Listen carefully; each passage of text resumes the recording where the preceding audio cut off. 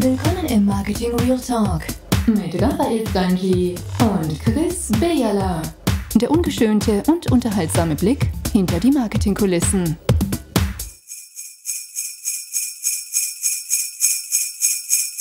Ho, ho, ho. So, Marketing Real Talk ist wieder auf Sendung und ihr seht uns dann oh, im Bild. Oh, oh. Es ist der 26.12.2018 und ich habe das Gefühl, wenn ich so den Chris anschaue bei unserem heutigen Marketing Real Talk, dann sehe ich ihm das Fondue Chinois aus den Ohren rauslaufen. Chris, wie geht's dir? Boah, warte schnell. Ich muss schnell den obersten Knopf von meiner Hose öffnen, sonst geht das nicht durch. Hast du Hose an? das kannst du doch am besten beurteilen. Es ist der zweite Weihnachtsviertag und liebe Community, der Martin Real Talk, der macht heute so den Blick in die Kristallkugel und zwar einmal andersrum. Im Moment kursieren viele, viele Podcasts und YouTube-Videos wieder zu den zu den Tipps, was musst du 2019 machen, was ist der Trend, was ist der Outlook. Und der Chris und ich, wir drehen jetzt mal um und sagen dir, hey, die 10 Punkte, die solltest du jetzt, 2019, wo da vor der Tür steht, wirklich nicht mehr machen. Und ich würde sagen, Chris, fang doch du mal kurz an. Einen kurzen Abriss über die Punkte, die du findest, unsere geschätzten Zuhörerinnen und Zuhörer, die jetzt auch schon monatelang uns verfolgen und richtig gewartet haben im im Sud von der Weihnachtsviertig wieder ein bisschen inspiriert sein. Haben wir ein paar Punkte ausgesucht. Und Chris, was würdest du ihnen mitgeben? Was solltest du jetzt als Marketingmensch wirklich 2019 eher nicht mehr machen? Also, einer oder mein erster und wichtigster Punkt ist, wenn ihr neue Webseite baut, dann solltet ihr auf keinen Fall zu Beginn vergessen, die richtigen Ziele zu definieren. Jede Webseite, die da außen ist, sei das B2B, B2C, Marketing, whatever, auch wenn es nur eine Visitenkarte ist, jede Webseite kann ein Ziel haben, das jemand erreichen soll. Sei das nur ein Kontaktformular, das abgesendet wird, ähm, tracke das, messe das und werte das aus. Danke, Raffi. Ähm, das ist für mich der, der, der erste und wichtigste Tipp. Ziel definieren im digitalen Bereich wird viel zu kurz geschrieben. Gebt euch nächstes dafür Zeit. Chris, ich drop den nächsten. Nein, ich du drop, den nächsten. Also, dann drop also, den nächsten. Droppen hin und her. Mein, mein erster Punkt, den ich dir möchte mitgeben dazu ist, Don't do this again 2019, ist, fall nicht rein auf all die Köfferli, Ledermäppli, Vertreter, die noch mit teuren TKPs unterwegs sind 1000 Kontaktpreis ist fast tot. Er mag gewisse, in gewissen wenigen Bereichen noch Sinn machen. Bist du international unterwegs, hast du ganz viel voriges Geld, go for TKP. Wenn nicht, dann überlegt er aus dem medialen Umfeld schlauere, messbarere, günstigere Werbeformen. Die gibt es da definitiv. Und renn nicht an den kreativsten, teuersten, bewegendsten, farbigsten Werbeformen um. Das ist so mein erster für dich. Don't do this für, für alle, die den TKP aus der digitalen Welt nicht kennen, so der CPN kostet bei mir 1000 Kontaktpreis. Aber ich übernehme gerade wieder und ähm, ein Thema, es kommt aus der Newsletter-Welt. Ähm, Newsletter ist nicht tot, im Gegenzug, Newsletter ist super und bringt enorm viel. Ihr müsst ihn einfach richtig machen. Und bitte, bitte hört auf, irgendwie quartals-, halbjährliche oder jährliche Newsletter zu machen oder monatliche Newsletter, wo irgendwie vier, fünf Themen zusammenfassen, ähm, wo dann irgendwie abgeschnitten wird, wie es im Mailprogramm groß ist und was weiß ich was. Baut ein Newsletter mit einem Thema, einem Betreff, setzen das gezielt aus, schickt es vielleicht nicht jedem, sondern nur einen Teil von eurer Liste, aber bitte hört auf mit einer zusammengefassten Newsletter, die heißt die News aus dem März 2019. Schon allein der Betreff wird niemand lesen und dementsprechend wird das Mail gelöscht, landet vielleicht sogar im Spam oder wird gar nie irgendwie beachtet. Äh, so kommen wir sicher nicht vorwärts. Chris, ich hätte jetzt gesagt, vielleicht nenn es doch Neuigkeitenbrief oder so. Nein, Spaß. mein nächster Punkt für dich, der, der zuhörst, ist das Thema Video. Und das Thema Video, ich glaube, da sind wir uns alle einig, kannst du nicht wegdenken. 2019 ist selbstverständlich ein Jahr, wo es mehr richtig bewegt Bild gehen wird, mehr denn je. Mein Tipp aber an dich, geh nicht zu Agenturen. Und wenn du zur Agentur gehst, dann ein heißer Tipp da am Rand, da gibt es neu aufstrebende Agenturen von Baden-West bis Zürich. Kann man sagen, da würde ich mal googeln. Zürich Oberland. da würde ich mal googeln nach Beyonder, darf man an dieser Stelle sagen, so auf, unter dem Weihnachtsbaum Beyonder mal googeln. Da wirst du vielleicht die eine oder andere Überraschung haben, was dort passiert. Zurück zum Video. Videos mit Agenturen machen, warum ich da ein bisschen Gegner bin und das nicht empfehle 2019. Ich habe persönlich 2018 die Erfahrung gemacht mit der Firma Smoothie, also S-Movie, vielleicht kennst du die da, und bin wirklich sehr, sehr zufrieden gewesen. Warum? Weil die es schaffen, uns Marketingmenschen auf ein Videoniveau zu bringen, dass auch du da draussen kannst ein Video drehen, schneiden, Post produzieren, dass es nachher verwendbar ist für deine Zielgruppe. Also nein, du brauchst kein TPC und keine andere Videoagentur, um selber marketingwirksame Videos zu gestalten. Das lernst du selber, das lernst du mit Videotutorials oder du gehst zu Smoothie, wirklich zu empfehlen, dort ein Kürzli, in Anführungszeichen positiv gemeint, besuchen und auch du bist in der Lage, deine Videos selber zu machen. Finde ich einen sehr guten Tipp. Ähm, ich würde als nächstes auch wieder so ein bisschen ähm, äh, aufs Thema digitale Projekte eingehen. Ähm, bitte hört auf mit der klassischen Wasserfallplanung, wo ihr eure Deadline setzt und auf die Deadline effektiv das Ganze werdet aufschalten. Natürlich, es kann äh, durchaus Sinn machen, haben irgendwelche Werbekampagnen geplant, aber grundsätzlich ähm, hört auf mit der Wasserfallprojektplanung, weil ihr werdet unter Umständen je nach Komplexität vom Projekt auf Themen treffen, die könnt ihr so nicht direkt planen, wissen nicht, wie lange das es geht. Jeder Entwickler für euch wird froh sein, jeder Designer. Äh, nicht lasst auf euch zukommen, sind nicht leger, geben gleichen Druck dahinter, aber ähm, vergessen das, weil Wasserfallprojektplanungen funktionieren in digitalen oder sehr komplexen Themen nicht mehr heutzutage. Chris, ich bin ein älter als du und ich muss da natürlich reingehen und sagen, meine, meine Fans, Followers, die da hören, natürlich, äh, ich meine, ist Wasserfall, sagst du in dem Fall, also in der digitalen Welt tatsächlich gar nicht mehr verwendbar? Es gibt sicher in kleineren und weniger komplexen Projekten ist durchaus verwendbar. Es ist sogar für Teilprojekte äh, du, äh, sicher verwendbar.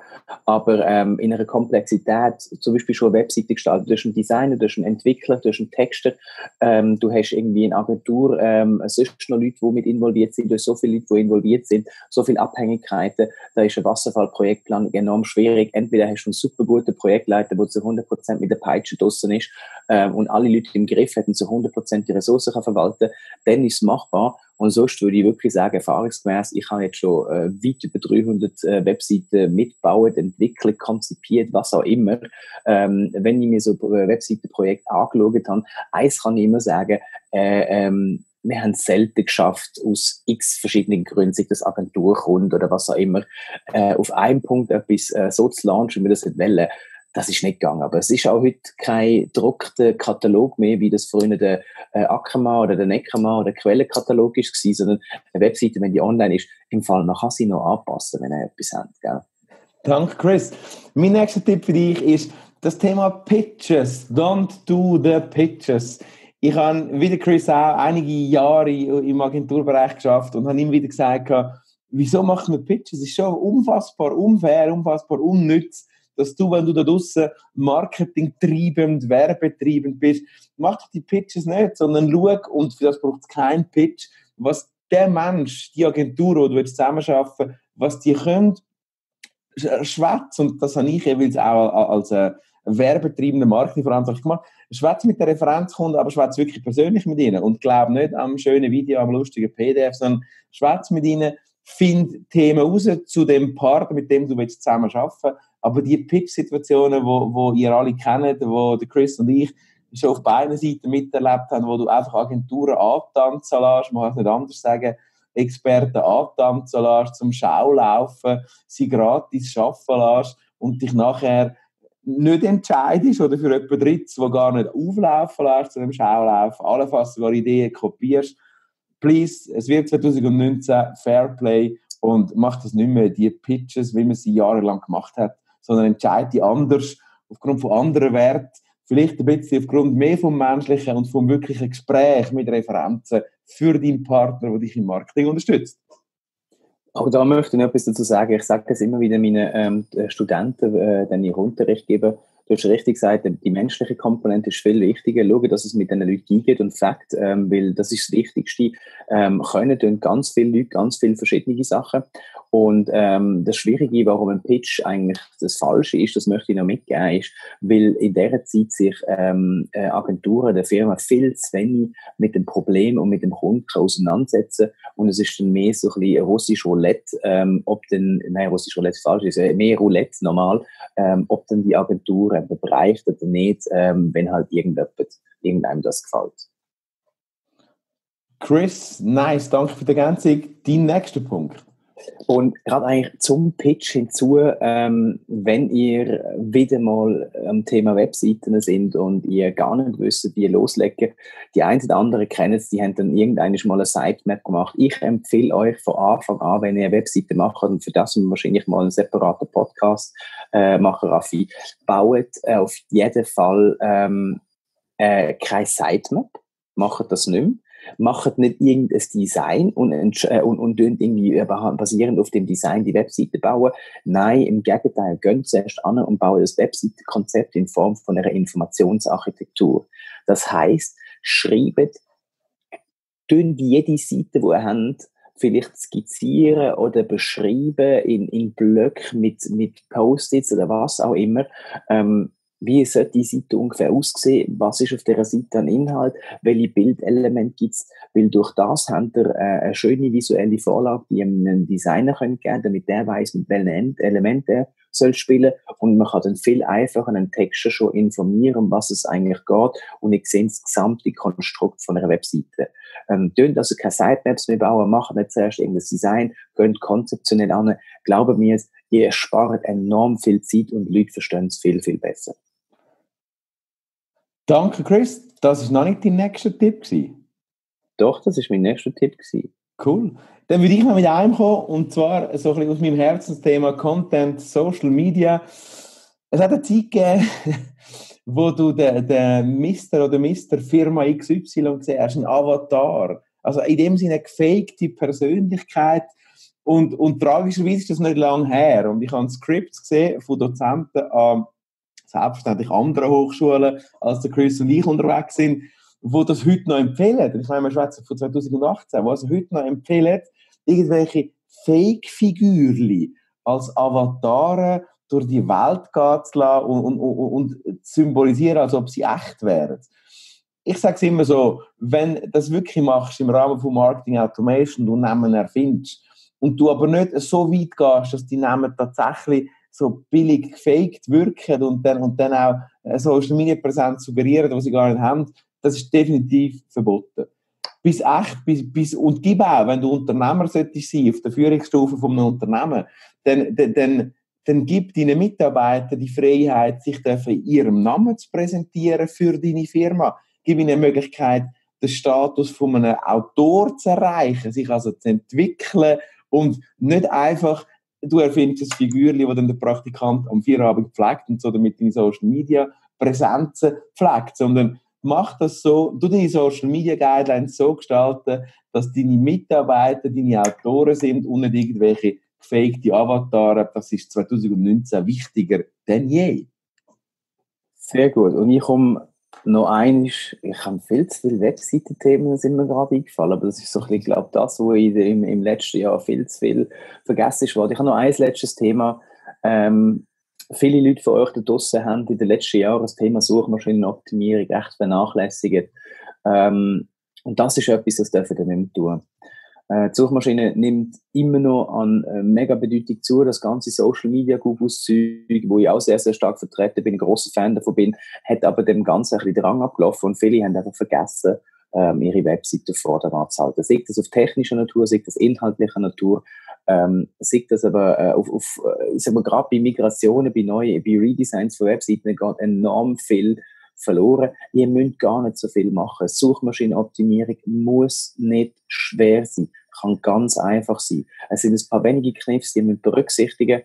Ähm, euch um die kümmern und lasst das auf keinen Fall mehr liegen. Merci Chris. Ich glaube, das sind ein paar Punkte Jetzt die, die da nach vor dem Fondeschein was vor dem Raclette sitzen, heute am 26.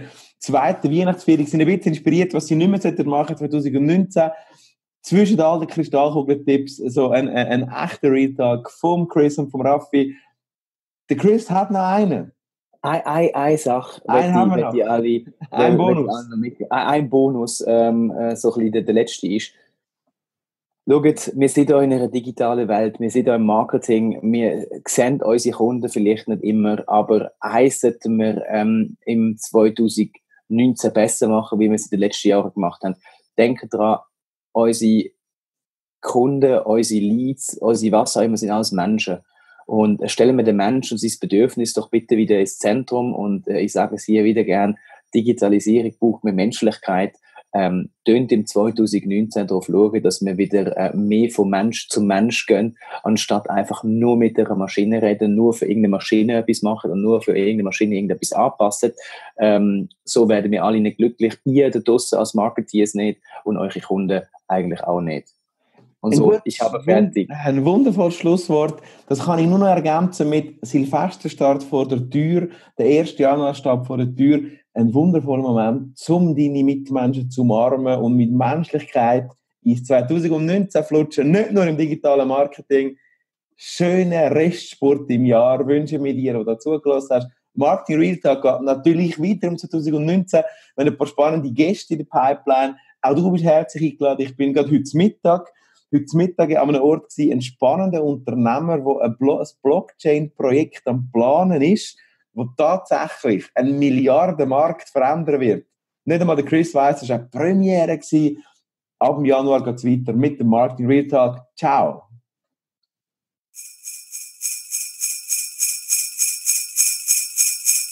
Ho, ho. It's Santa here. A very Merry Christmas and the happiest New Year. Ho, ho, ho.